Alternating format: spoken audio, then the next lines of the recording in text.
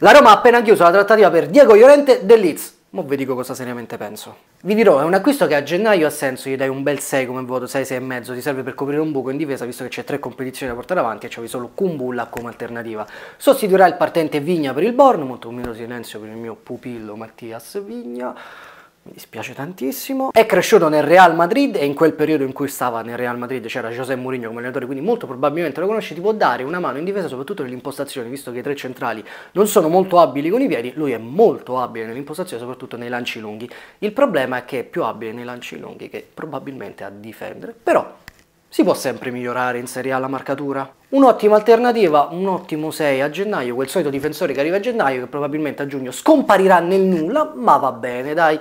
Dopo la sconfitta ieri sera, però almeno abbiamo notizia di acquisto di mercato. Ditemi cosa ne pensate di questo calciatore nei commenti, a me non dispiace.